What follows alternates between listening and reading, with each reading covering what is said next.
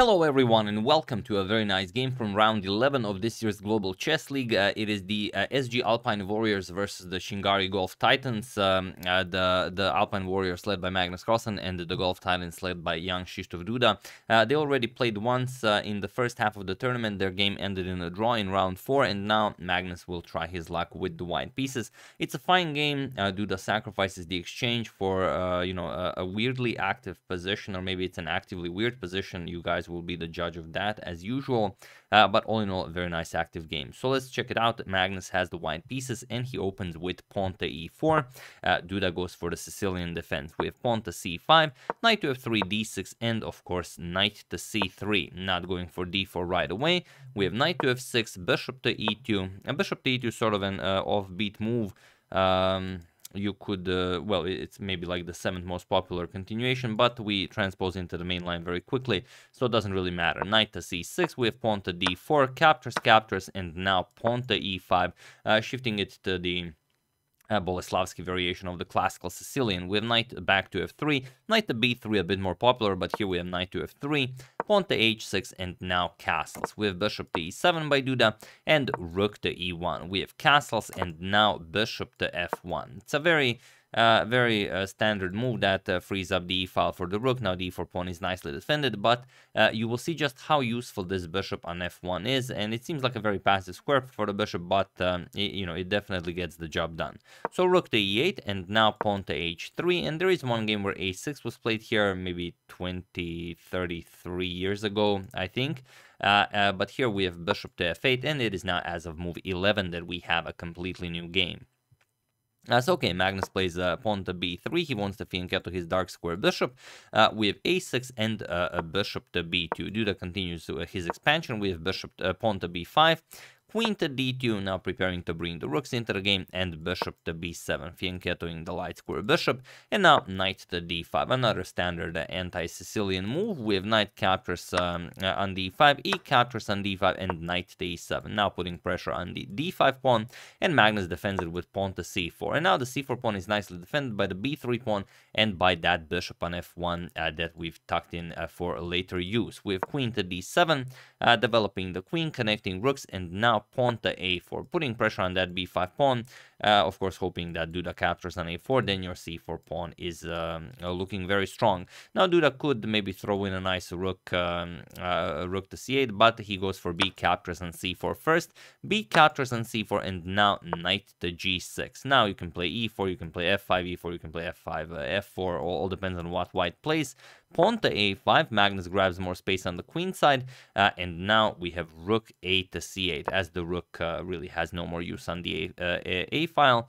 Uh, bishop to a3, not just controlling this diagonal, but also uh, preparing to shift the rook over to the b file, because the b file is at the moment the only open file on the board. We have pawn to e4, uh, grabbing more space in the center, uh, but also allowing Magnus some squares. Now the d4 square, uh, square has been vacated, and of course Magnus will happily use it as an outpost for his knight. We have knight to e5, Duda also created an outpost for his knight, and rook a to c1. And now we have queen to a4, putting pressure on the bishop, and this is, uh, of course, uh, when you look for moves, um, uh, the knight really doesn't have a better move. It, it, looks beautiful there. The bishop for the moment has no squares, the rook is fine on c8, this rook is fine on e8, the bishop has no moves on f8. So the only piece you have uh, left to improve is the queen, and that's how you, uh, you know, when you have a lot of moves um, uh, th that you are considering, always try to, you know, uh, improve your worst piece the most, and that move is accomplished by playing queen to a4. So here, uh, of course, the bishop is hanging. Magnus defends it with bishop to b4, and now knight to d3. This is uh, possible as you will not be losing a pawn, since the queen cannot be attacking the pawn and also defending the bishop. So while you don't want the knight here as it's attacking both of the rooks, Magnus does capture the knight, e captures on d3, and now rook e to d1. Now Magnus has to figure out how to safely capture the d pawn, uh, and then he's just going to be up, uh, uh, up uh, pawn. Uh, we have rook to c7. Now you can double up on d file, but also put more pressure on that c4 pawn. Uh, knight to f5 by Magnus, very, very unpleasant. And now bishop to c8, uh, putting pressure on the knight. And now just knight back to e3. Uh, the point is that the c4 pawn is now nicely defended. uh, twice, uh, but also you can just move the rook here. Now you're going to play rook to a1, attack the queen. Once the queen moves, you safely pick up the d3 pawn, and you have a better position. And uh, here Duda uh, could continue with something like f5. Objectively, this is the safest way to go. Uh, point is that uh, after the, the, the said uh, variation is played, rook to a1, queen to d7, now you pick up the pawn here. You can play pawn to f4, you've won some space here on the king side, you kick away the knight from e3, now it goes to f1, and maybe you have uh, maybe you have something here. However, Duda decides to go for the exchange um, uh, sacrifice that we mentioned in the beginning of the video, and plays rook captures on e3. And now, how does Magnus continue? Well, if he just takes the rook with, um, uh, you don't want to capture with the queen, of course, then the bishop hangs. But you can play f captures on e3. This somewhat weakens your king, but also after bishop to f5, uh, you don't have e4 and the, D, the d3 uh, pawn is defended. So this would be very good for uh, Duda. Uh, Magnus instead uh, does not capture the rook right away. He plays rook to a1 and he allows Duda to play queen captures on a1. And it's, uh, again, objectively maybe the best thing to do. You've already grabbed material. Magnus did not capture back. Uh, why not take the rook? If queen captures on a1, rook captures, and now, okay, your rook is hanging, you move the rook. Let's say queen captures on d3, the rook will capture the pawn on c4, and after bishop to c3, you will play something like bishop to f5. You have the rook pair, you have the bishop pair. Uh, you have uh, definitely a fighting uh, chance here. But after rook to a1, Duda uh, decided to go for queen to b3. And now Magnus, again, should capture here.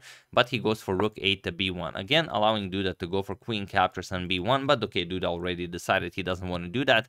Uh, he played queen captures on c4. And only now Magnus captures on e3. But now with the queen as the rook is guarding the bishop on b4. So queen captures on e3, and now bishop to f5. Finally, Duda's, uh, well, uh, the, the, bishop that was pretty useless on b7 now comes very much alive uh, on this uh, diagonal. Uh, we have rook b to c1. Uh, you do not want to see d2 uh, uh, being made with a discovery, so rook to c1 first attacks the queen. And now uh, you could go for queen captures on b4. It's definitely an option. You could um, uh, give up even one more exchange and then queen captures on a5. And you would have the bishop pair against the rook pair, but you would have the passed d pawn and the passed a pawn again. Uh, it is some some compensation. Objectively, white is of course better, but it's rapid. Uh, you know, who knows what might happen. Uh, in the game, queen to b3 was played by Duda, and now uh, we have rook captures um, uh, on c7 queen captures on d1 with check, king to h2, and now queen back to b3, putting uh, pressure on the bishop here, and Magnus finds the strongest continuation, and that is queen to d4. Now the threat, of course, is bishop to c3, and you want to uh, put pressure on that uh, king. Uh, later on, you can put uh, the, the rook on a7, attack the pawn, put the rook on a8, pressure the bishop, and then black will definitely have problems. So Duda needs to figure out how to stop bishop to c3. He plays queen to a4. Now, of course, if you move the bishop, you can trade queens. Uh, and rook to a7 goes after the pawn and uh, okay Duda does have the bishop pair but uh, it's not really doing all that much. You cannot advance the pawn. Uh, so uh, you know, it's it's not uh, as great. Uh, of course, the bishop cannot capture, but the queen can capture and guards the bishop, so that's the point. Uh, bishop to g6 was played, and now rook to a8. There's always time to capture on a6, so what you really want to do uh, is pin that bishop. Uh, we have queen to d7, and now comes queen to b6. we have queen to f5, and now Magnus is, of course, completely winning, so feel free to pause the video and win the game for Magnus while I give you a couple of seconds.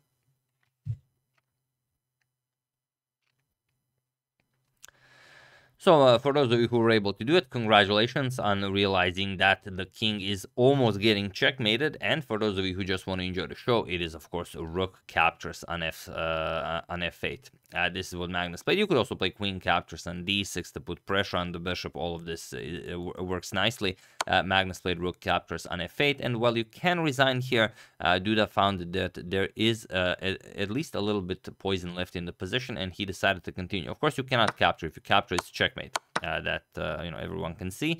But if king to h7, uh, now you can easily mess it up. Magnus played queen to d4, and that was it. But the point is, if Magnus played something like queen to d8, uh, which would threaten checkmate, and okay, you're up a rook, you're threatening checkmate, life is good. This is actually a dead draw because now queen to f4 leads to a perpetual. If you go down the board, we have a perpetual here, uh, queen check, king to h2, queen to f4 with check, and of course, if you play g3, then you just get checkmated mate in two with the bishop on e4.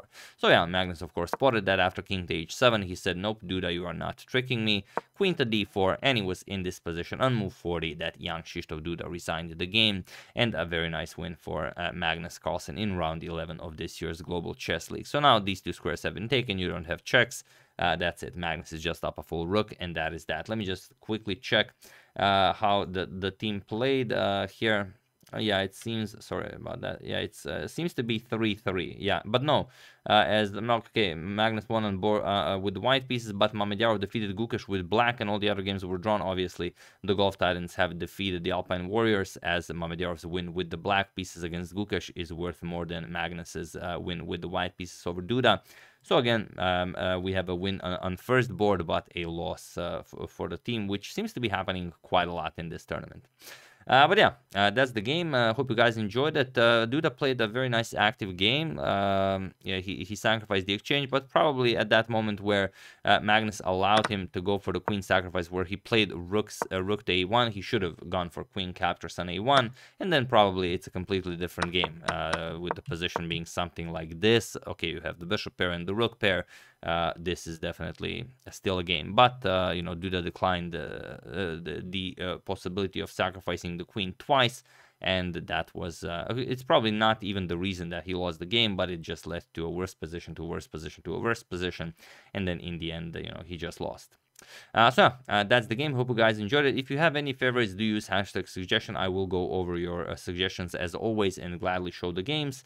Uh, I would like to thank uh, Jim Meadow O'Toole, uh, Yun Young, Federico Torres Velasco, Dan McCormick, and James Eugene Cashman for your contribution to my channel. Thank you a lot. I really appreciate it. As usual, you can check two of my previous videos here. Thank you all for watching, and I will see you soon, continuing to check up on your wonderful suggestions and whatever else happens in the chess world.